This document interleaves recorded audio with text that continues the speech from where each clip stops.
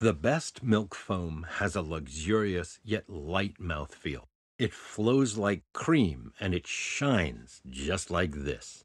Would it surprise you to learn that I didn't use an espresso machine? I made this by hand with a $30 gadget.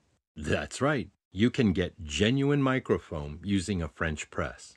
So, how exactly does this work, and which types of milk will yield the right texture?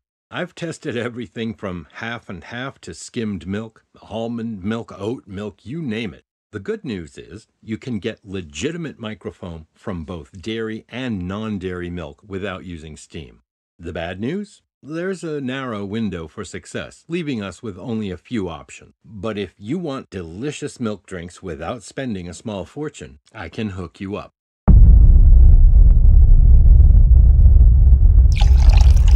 Oh my God. It's like a miracle.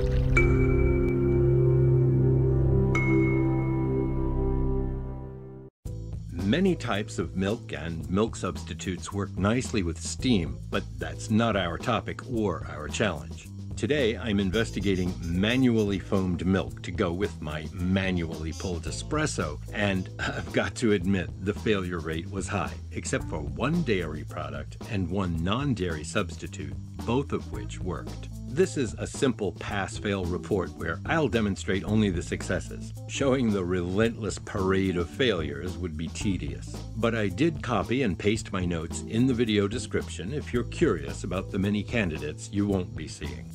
First, I tested every variety of cow's milk from half and half down to non-fat. Then I tried various alternatives like almond, oat, and soy milk. Before we start, I need to mod my French press. This takes all of 30 seconds. The cover limits the plunger's travel, so it needs to come off. Remove the screen assembly and the threaded sleeve. Notice that it's not symmetrical.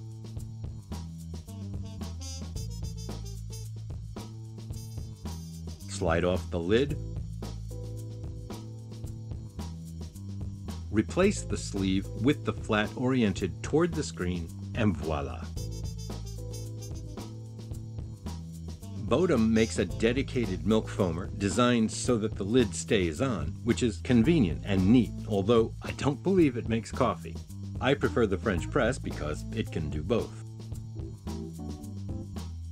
First up, ordinary whole milk, the only dairy product that worked well. Our biggest challenge is temperature management. With a manual rig, we can't heat the milk during or after foaming because once the bubbles form, they'll act as insulation and block the transfer of heat via conduction. So we have to warm the milk before dashing it. This is not ideal, as I'll explain. Steam is unbeatable. It heats the milk via convection and stretches it at the same time. Convective heating gives us an even temperature throughout the volume of milk and the air that you're working into it, with no chance of scorching. Also, you can do this in your jug, which will heat up along with the milk, so you only need to preheat your cups to get a good drink. But here, you'll use a small saucepan. Once you hit the right temperature, you've got to pour from the pan into the press, which means some heat loss. Then you'll be working in room temperature air for a good deal more heat loss. And finally, you'll pour into the jug, losing still more heat. And I'm afraid you can't get away with overheating the milk to compensate. If you take dairy milk above 60 degrees Celsius or 140 degrees Fahrenheit, you'll start to get a scorched, eggy flavor that spoils the drink. So that's a hard limit. A microwave oven might heat the milk evenly after foaming, but it wouldn't be precise, and I suspect it would deflate the foam somewhat. I wasn't able to test it because I don't actually own a microwave oven, but if you've tried it, by all means share your experiences in the comments. It helps to preheat all of your kit, the press, the jug, and your cups. Still, even when I'm being thorough, the drink ends up at around 50 degrees Celsius. I'd like it closer to 60. The right technique is to work in a little air early in the process, then to keep the screen below the surface. You don't want a coarse froth. Stretching the milk is a really good metaphor. You'll need to practice and experiment a bit to get it right, but a two times increase in volume, or thereabouts, works pretty well for me. There are electric gizmos that will agitate your milk while heating it via conduction, but as I said, the foam has an insulating effect, so you'll likely get some scorched flavors. And they tend to make a very stiff foam, like meringue. Once again, steam is better because a little condensation thins the foam, which in turn flows well enough for you to draw a design. Mechanically made foam is drier, and while it can have the same fine, moussey texture and velvet mouthfeel, the surface tension is too high for a design to flow across it. So decorative pouring is out, although I find this natural cloud motif pleasing enough to look at. If you want to use low-fat dairy milk, I've got bad news. I tried every type and combination I could think of, even adding a little non-fat milk powder to each of the specimens to increase the density, but that also failed. Too much fat was a problem as well, half and half failed.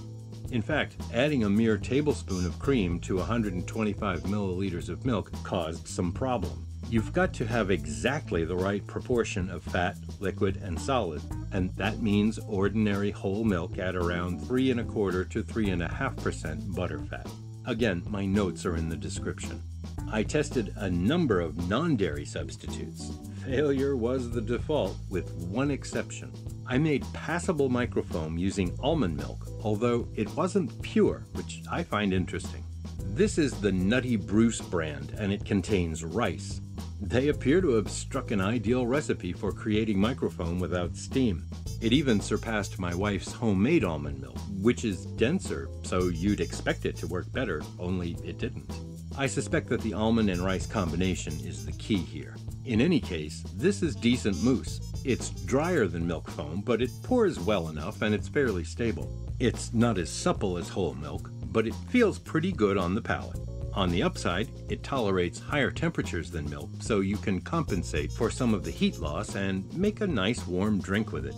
The flavor is mild, so I didn't really hate it. Don't get me wrong, I enjoy almond milk. I just don't like anything in my coffee, except maybe dairy milk or cream. A flat white is about as milky as I'm prepared to go. Oat milk failed. Soy milk failed. Other brands of almond milk failed. But at least there's one dairy milk and one non-dairy substitute that you can stretch properly without using steam. This means you can make cafe-style milk drinks for less than $500 all in. And none of that disappointing steam and mediocre espresso from some department store appliance. A robot and a French press will give you a real espresso drink. The only imperfections here are milk temperature and a lack of decorative potential. But is pouring a tulip shape really worth thousands of dollars to you? And uh, okay, there's the workflow.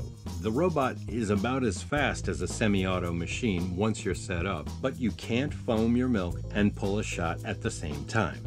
However, two people can knock out the cappuccinos and flat whites for a multitude of guests.